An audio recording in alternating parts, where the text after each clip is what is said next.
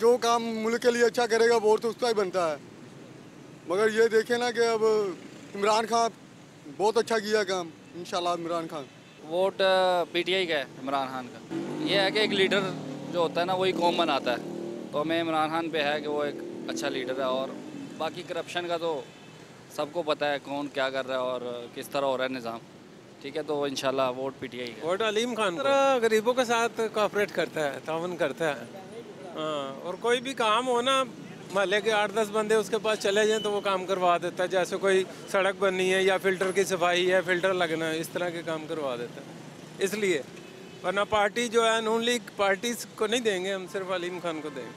Party अगर देखें तो हमारी favourite party Pakistan Peoples Party है। नून लीग को। वो खाते हैं और लगाते हैं।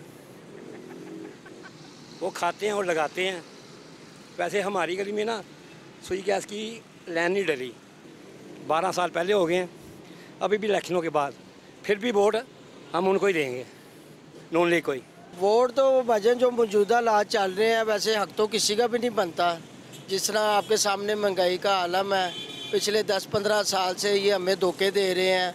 ये सड़कों का भी अभी आपके सामने ये धोखा ही है कि एंड ऑफ़ द डे अब इलेक्शन के दिन करीब हैं तो अब सड़कें बन रही हैं। पाँच साल इन्हें कुछ ही याद नहीं है जब ये इकतदार में थे। ठीक है? ये नून लीग, पी टी है या उधर कोई भी है, पार्टी है, सब मुल्क को लूटने के लिए आ रहे हैं।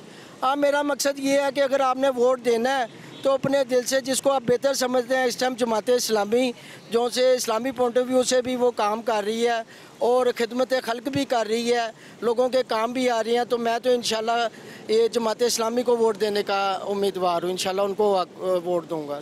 इतनी महँगाई कर दी है कि सुई गैस के बिल, बिजली के बिल आम प्रोटीन की जो खुराक है, वो इतनी महँगी कि पूरा करना मुश्किल हुआ है। ये क्या बात हुई? आप महँगाई करते जाएँ, आवाम को पीसते जाएँ, कहने घबराना नहीं, ये क्या बात हुई?